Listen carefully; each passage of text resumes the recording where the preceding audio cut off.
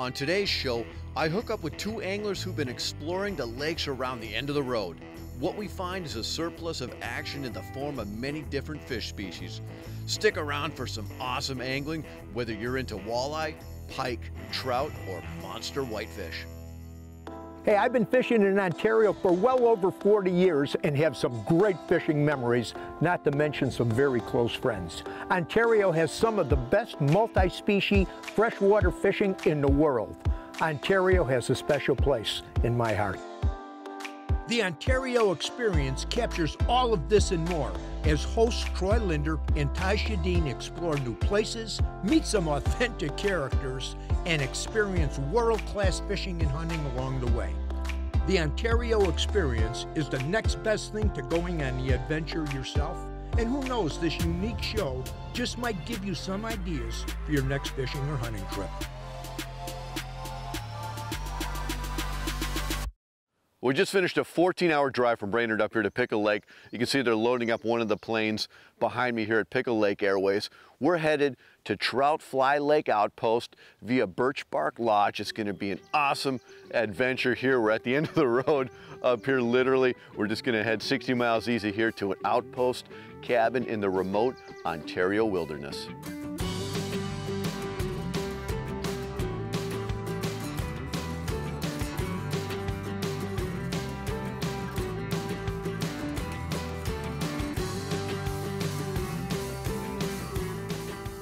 I found out this was for sale, I actually started doing some research online and I wanted to find out a little more history on it myself and, and what all it entailed. And just so happens that I found Randy online and Randy had been coming up here for a long time. So we got together and talked and he was a, a treasure trove of, Im of information about the lake. And uh, after, after we had our conversations and I finished that, we decided to, to uh, purchase it and, and move on from there. And this, is, we've, and this is where we've gotten to this point now. I uh, first uh, started coming up to this uh, outpost with my dad back, my first trip was in 1975.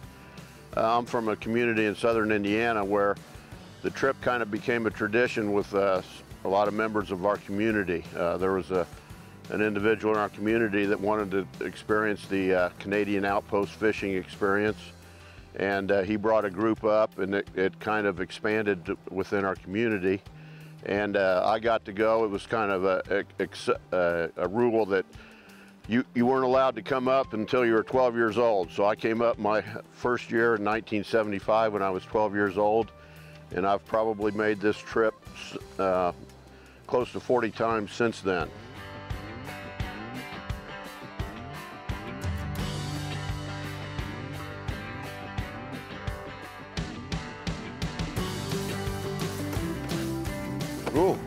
That's rare. First pull of the season and it fired over, no problem.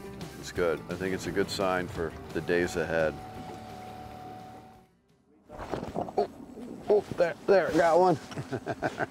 Said I had a had a 14 hour drive, Randy, a 22 hour drive, and you can't really tell by the light, but it's nine time about 9:30 maybe. 9:30. Yeah, you. 9:30. We're still fishing. We've fished up here till 11 o'clock, 11:30. Yeah. I mean that's the beauty up here in Sunset Country, and you know the, the summertime here. You're fishing till 10 o'clock with light. Walleye, nice walleye. Nice walleye. There we go. That's nice. it. Nice. That's beautiful. Typical lake trout fly lake walleye right there. Yeah. Just on a little Shad Rap. They're just really easy. Just cast out and troll. Pretty fish. Good way to end the day. Of course, we still have time for another one.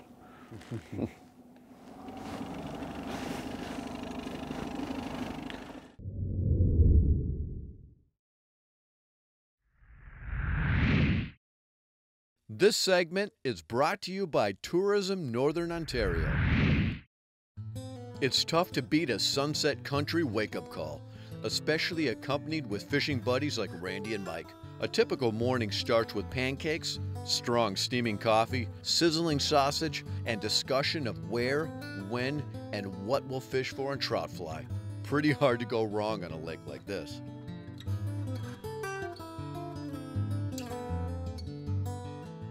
what we'll do is we'll go down and troll down there along those uh, islands down there and see what we can pick up, and we'll head down to the Okay. reefs down on the south end.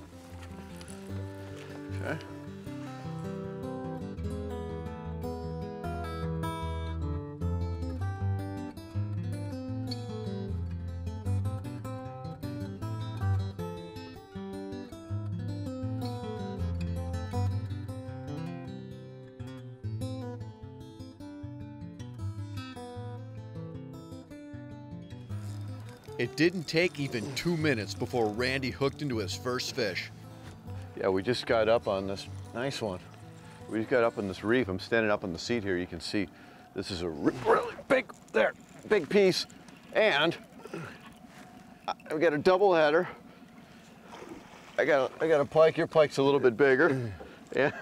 So we oh, Look at got we just got up on here and been fishing for about two minutes. Back to his first cast there, got bit, and I got I got this one. I went for the, started throwing the swim bait. I kind of went big with this. Good start. Not bad. I got to do a little Nice. cross arm hold here. Yeah, nice, healthy. Yeah, double header. Good way to start. Start the spot. Get him unhooked. Get him back in the water. There. There we go. Take off. There he goes.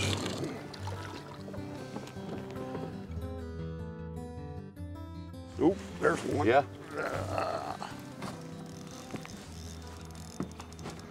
Yep, it's got the whitefish head bob. Changed the color on my lure. Feel some drag peeling action. We just had a couple that came up over here on the surface, so I'm oh, throw it. I threw. I said I, I threw up worms off. You pop one. Yeah, where, where you you noticed a couple that came up surfacing, and so I just cast forward there, and we got a double header. yeah, there. Ooh, get the size. Yeah, these There are. we go. I mean, these are. This is the size of these fish. I mean, if you're just you're catching you're catching fish this big, I mean, this is fun.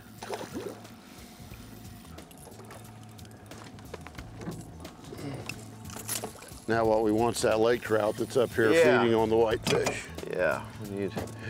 That's the one thing. I wonder if this is where where they like this. It's like a smallmouth. They go in the shade of the boat like that. They tuck underneath there. While Sunset Country is a playground of multi species fishing opportunities, not every lake packs it all. Trout Fly is one of these special lakes with lots of good sized walleye, pike, whitefish, lake trout, and even Portage brook trout, as we'll see later. There. Yep, like that. Oh, it's a nice. Oh, Nice it's a nice walleye. Look at that. Woo! Told you there. Yeah. Yeah.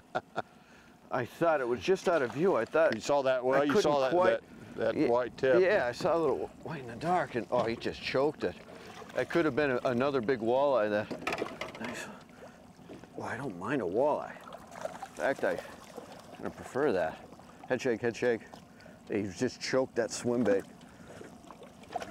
Come here. Oh yeah. Nice walleye. Look at that. Beautiful. That walleye. That is a That- that's a That is a nice. typical trout fly walleye right Trout there. fly. Yeah. Nice thing with the swim bait here is just a little easy pop like that. Oops. And there. Just like that. That one, nice. Beautiful. Ontario Sunset Country Walleye.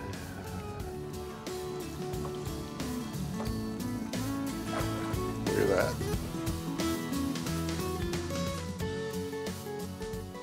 Yeah, that's one thing that uh, we've always liked about this lake is it's unique in that uh, you know you can catch basically uh, five species of fish up here.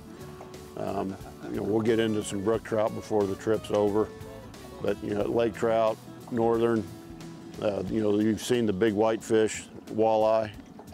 Um, you know, a lot of lakes are basically northern walleye lakes.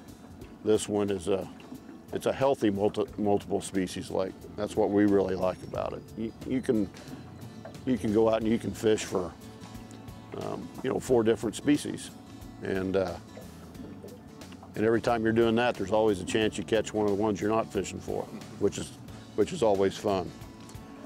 It's never boring. We're always finding new places to fish up here too. And I've been coming here over 30 years and still finding new places to find fish.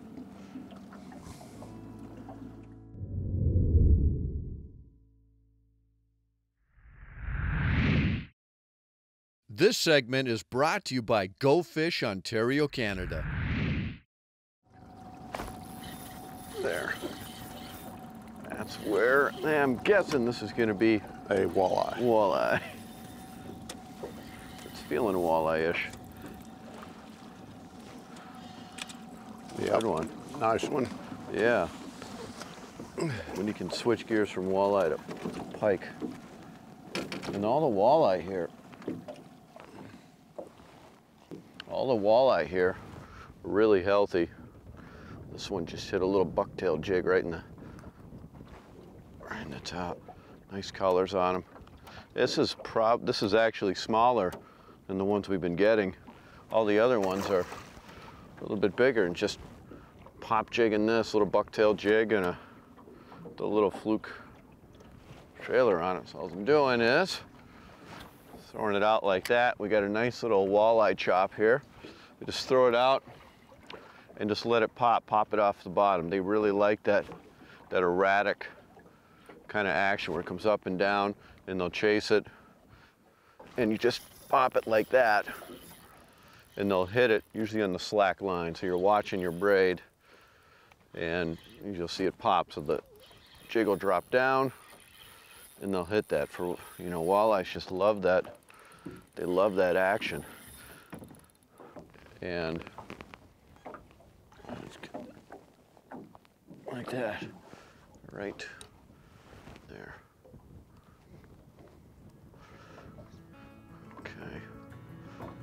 He's got one little, barely hooked. Nice walleye. Easy release.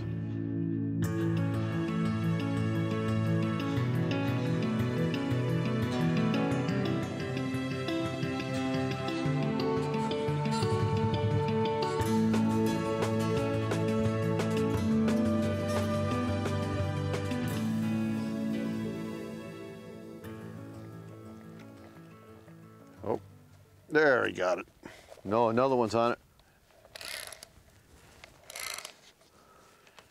Got This, it? is- this is the one that was trailing me. It's a good one. Yeah. I'm out here messing with the walleye and you're on the Get a slow pull. He's coming up, coming up to jump the surface. Ooh, yeah, good one. That's a good one. Oh, the Sabra is singing. Yeah. So got, got a lot of sentimental value. I fished with this uh, setup back when I first fished here when I was 12 years old. You can see it's been to, been through the wars, but uh, it always performs.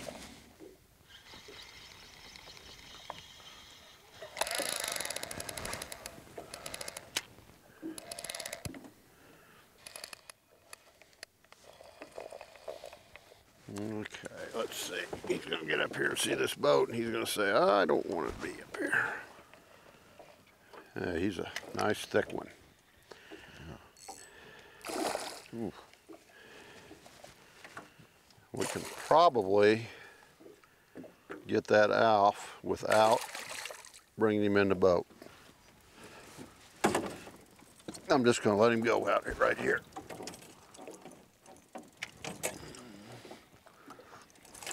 There you go.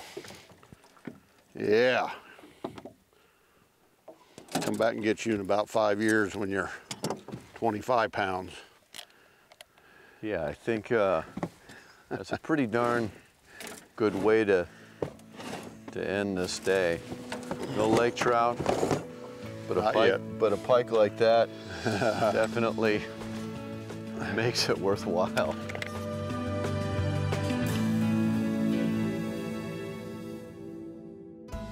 Splake are most typically the hybrid of which two different species and gender of those species?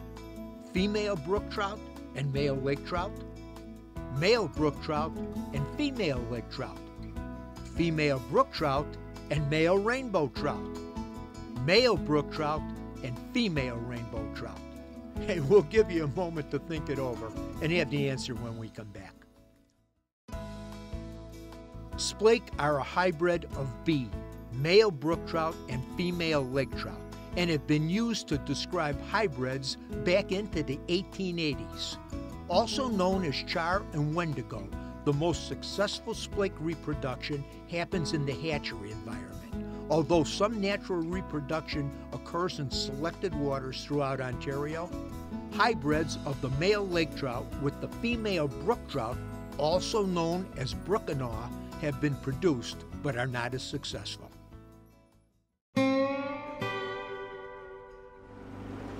All right, we're just about to pull up to a, a little portage here for a little back lake that has some brookies in there. That's right. What's nice about it is we can actually uh, get in there with our boat.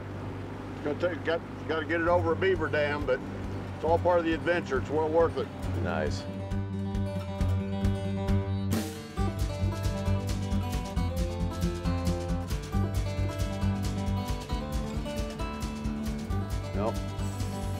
Yep. There. There you go. Got him. He was sitting up on, saying if they was up on the sand here, you'd be able to see him really good. Sure enough. Give him that nice high, oh, look at the colors on this one. Ooh, look at that off there. Look at this. The colors on these brook trout, they look painted. Honestly, look at that. They look absolutely painted. I'm gonna get this thing back in the water right away. Go ahead. There. That is fun, especially you see this is the whole lake behind me. This is it. We pulled over the the uh, beaver dam back there, and this is it. This is this is where they all live. And he said you've had days up to 50, up to 50 brook trout in here. That's incredible. They're, uh, we've caught some in here, you know, two, three pounds as well Wow. over the years. Oop, there we go. There. Okay. Yeah. And they You're fight. right. They like those spinners. Yeah. Not quite the size as the one you had. But Still pretty. Whoa, look at the colors pretty. on that. Oh, slow down there, buddy. Look at that.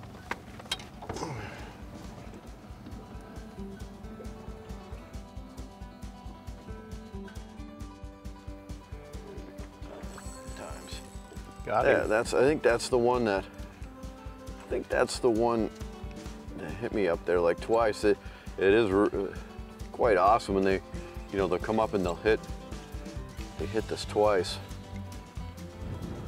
And it's fun on light tackle like this. It really doesn't take. It doesn't take much. Looks painted. Look at the blues, the reds, the whites, and the fins. They're little works of art.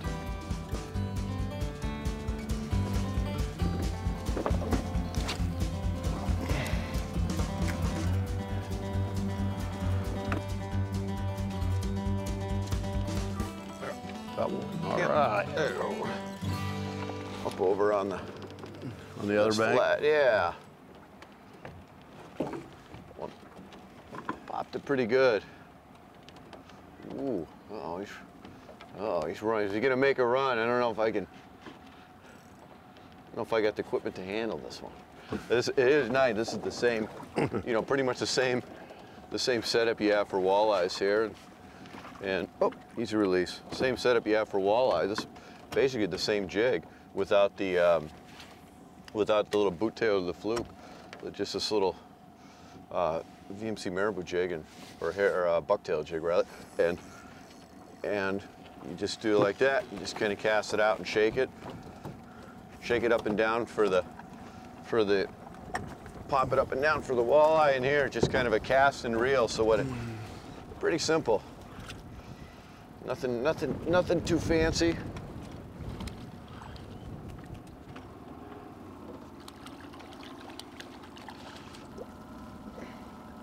Look at that. Look at that Emerald Lake beauty. Wow. And here we go. And you're back.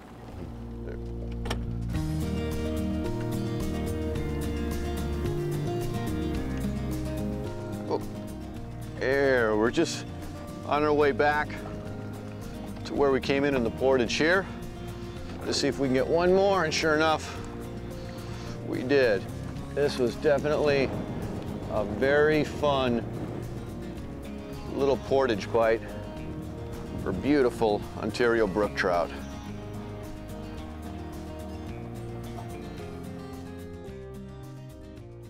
Just making a few more casts before we fly out of here at Trout Fly Outpost.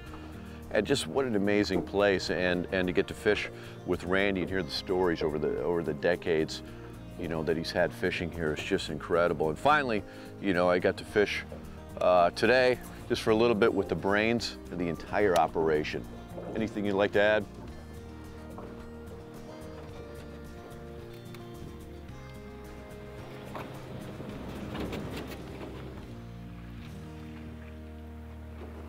Well said, well said.